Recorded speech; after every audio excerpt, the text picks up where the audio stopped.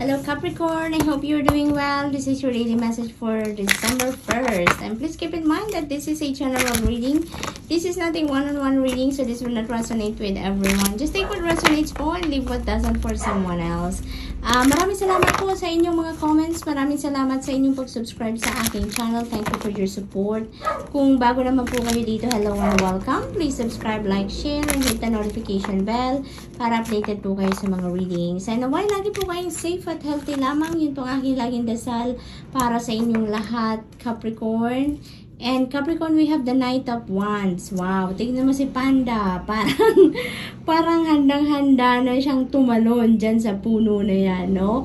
And uh, si Knight of Wands, Capricorn, is a little bit impulsive, no? So, yung sinasabi ni Knight of Wands dito, is before you take action, no, on any endeavor, kung ano man inyong pinaplanong gawin ngayon or kung whenever man, always uh, take a step back. No? Take a step back a little para magkapag-isip ka muna, para makapagplano ka muna, you know, or magkaroon ka muna ng, ng iba't ibang ideas, no? So that you can make plan A, plan B, or plan C dito sa inyong gagawin. Because it's extremely significant for you na to think things through before you take action. Kasi yung energy ni Knight of Wands, ano to eh, act first, think later. Kaya very impulsive siya. Kung ano yung magustuhan niyang gawin, ano yung naisip niyang gawin, susugod agad siya, ganun siya. Kaya yung advice nito sa inyo, to think things through muna. Wag munang susugod agad, wag munang tatalon agad, at uh, susunggaban ng kung anumang bagay, ba diba? Kung anumang endeavor. So, uh, kailangan mong dito, uh, as the advice of Knight of Wands, to think things through. So, mag-step back ka muna ng konti and pag-isipan ng konti, maka makapagplano ng konti so that at least no magkaroon ka ng efficient and effective na approach doon sa iyong endeavor para hindi naman masayang ang ang mga efforts mo, ang oras mo and, and everything na kailangan mong gamitin para sa uh, endeavor na yan, 'di ba? So at least meron kang plan B, plan C kung hindi man mag-materialize ang plan A. So, kung basta lang susugod sa endeavor o sa kung ano man yung gusto mong gawin, sa, gusto, sa plano mong gawin na hindi man lang nakapag-isip, hindi na pag-isipan, hindi na pagplanuhan, ba? So, parang mas mahirap yon So, Capricorn, that's all I have for you for today. I hope nakatulong ang reading nito in some way. Thank you for watching. Love and light. Namaste. Hello, Virgo. I hope you're doing well. This is your daily message for December 1st. And please keep in mind that this is a general reading. This is not a one-on-one -on -one reading. So this will not resonate with everyone. Just take what resonates po and leave what doesn't for someone else. Thank you. And maraming salamat po sa inyong mga comments. Maraming salamat sa inyong pag-subscribe sa aking channel. Thank you for your support. Kung bago naman po kayo dito, hello and welcome. Please subscribe, like, share, and hit the notification bell para updated po kayo sa mga readings. Thank you. And naway, lagi po kayong safe at healthy lamang. Yun po aking langing dasal para sa inyong lahat, Virgo.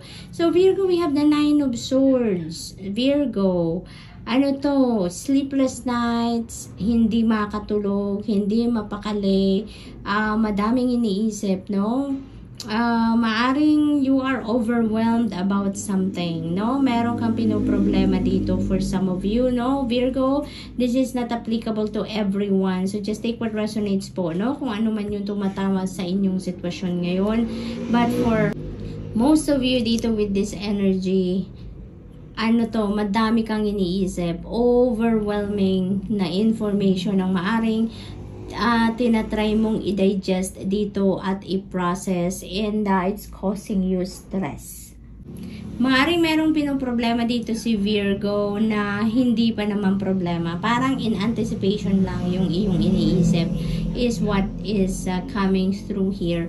Yung uh, mas nai-stress ka lalo dahil hindi mo pa nakikita ang problema talaga. Yung parang dahil ina-anticipate mo pa lang, so iniisip mo pa lang kung anong maaring mangyari and pinoproblema mo na yan. So, ang nangyayari, nagba-branch out yung, yung problema, yung iniisip mong uh, maaring maging problema, ba diba? So, mas dumadami, dumadami, mas lalong dumadami ang inyong iniisip. So, it's uh, becoming too much na para sa inyong isip na, alam mo yon um, alalahanin. So, dito Virgo, ang advice sa'yo ng energy na ito is um, transmute that negative energy into positive one, no? Transmute that negative thoughts into positive ones kasi kung nakafocus ka sa positive aspect lang ng iyong sitwasyon is mas mabilis mong may isip, mas mabilis kang makakakita ng solusyon dyan para sa iyong problema.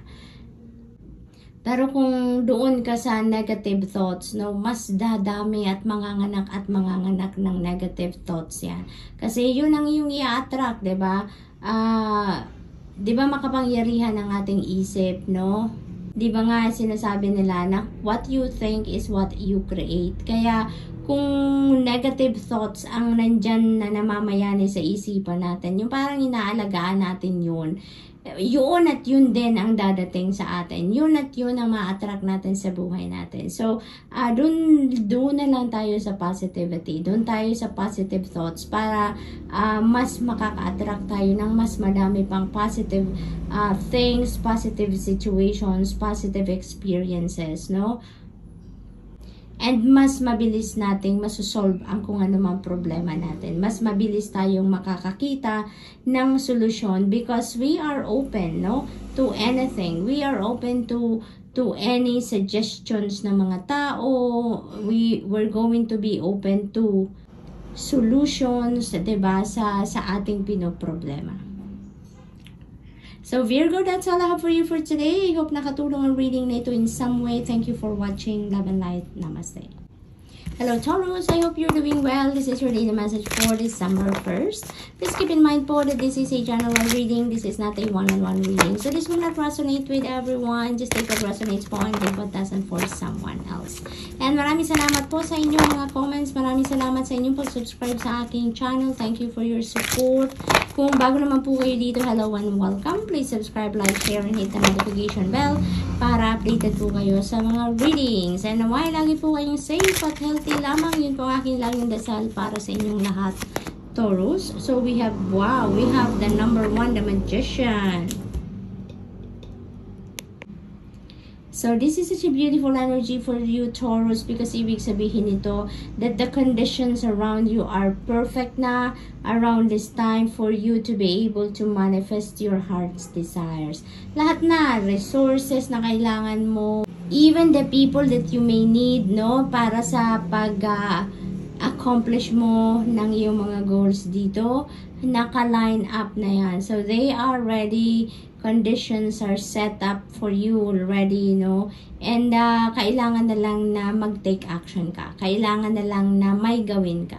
Kailangan na lang na uh, simulan mo na, no? Simulan mo na ang kung ano man ang kailangan mong gawin para makalapit ka na doon sa pag-accomplish mo sa iyong mga desires, sa iyong mga gustong mangyari sa buhay mo. So, hindi na ito planning stage, Taurus. Planning stage is done. Sinasabi ng Spirit dito sa iyo na tapos na yung plano mong ginawa is good enough and now you need to take action. Kailangan mo nang i-roll out kung ano man yung mga plano mong yan, no?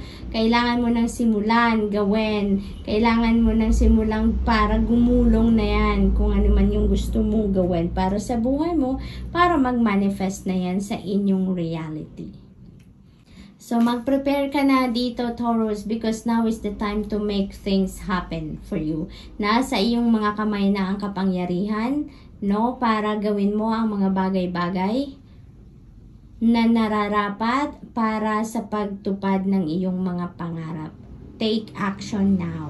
Iyon na lang. Simulan mo nang gawin get up, get on your feet, and take action. So, Taurus, that's all I have for you for today. I hope nakatulong ang reading na ito in some way. Thank you for watching. Love and light. Namaste.